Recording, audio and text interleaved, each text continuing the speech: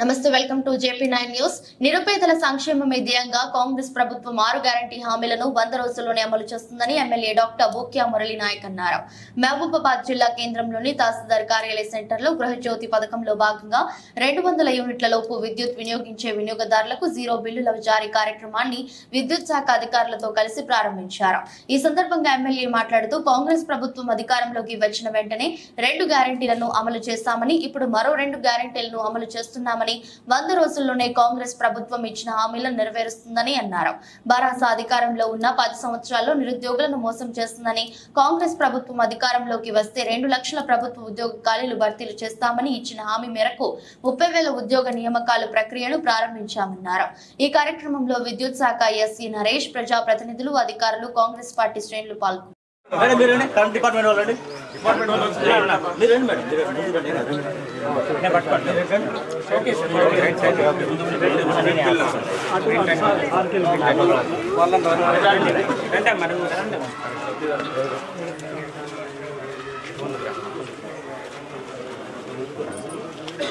ఒక ఏఈ గారు ఇవ్వండి అమ్మా ఇక్కడ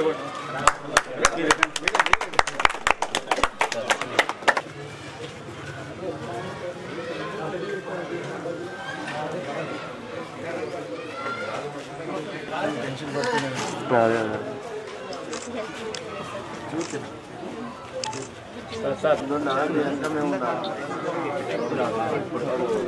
సాఫ్ట్వేర్ ప్రింట్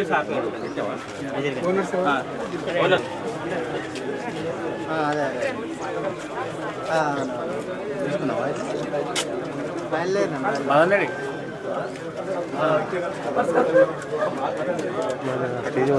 అదే అందుకే మరి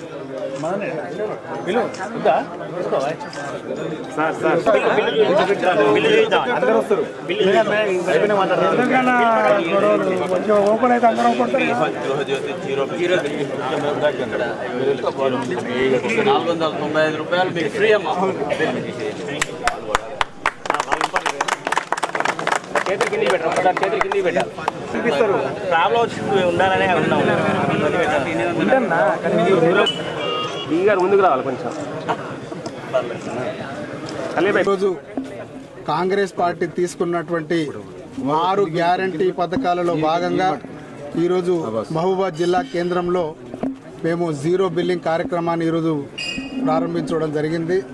ఈరోజు ముగ్గురు లబ్ధిదారులు ఫాతిమా గారు అలాగే జ్యోతి గారు తర్వాత వెంకట నరసింహులు వీరి ముగ్గురింటికి వెళ్ళి వారికి జీరో బిల్లింగ్ ఇస్తే వాళ్ళకు పట్టలేనంత ఆనందంగా వాళ్ళ ముఖంలో చిరునవ్వులు కనిపిస్తూ ఉంది. కాంగ్రెస్ పార్టీ ఎలక్షన్ మేనిఫెస్టోలో భాగంగా కాంగ్రెస్ పార్టీ అధికారంలోకి వచ్చిన వెను వెంటనే వంద రోజుల్లోపే మేము ఈ ఆరు బృహత్తరమైన కార్యక్రమాలు మేము చేసి చూపెడతామని చెప్పడం జరిగింది.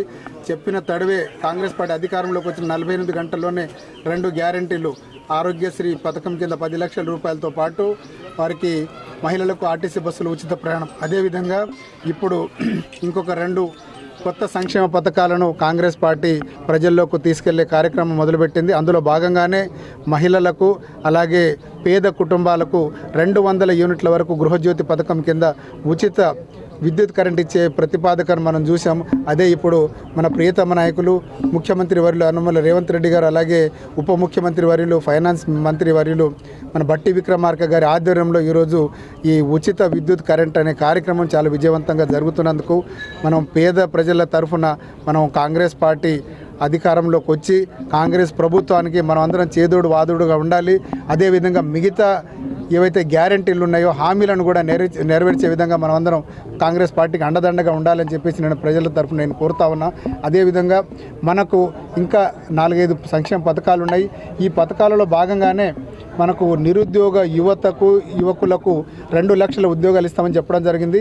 ఇప్పటికే ముప్పై వేల ఉద్యోగాలను భర్తీ చేయడం చేసే ప్రక్రియను కాంగ్రెస్ ప్రభుత్వం నిజంగా కూడా శ్రీకారం చుట్టింది. మనం గత ప్రభుత్వం గత పాలకులను చూసాం. బీఆర్ఎస్ పార్టీ అధికారంలోకి వచ్చిన పది సంవత్సరాల్లో ఏ ఒక్క ఉద్యోగ నోటిఫికేషన్ ఇవ్వలేదు.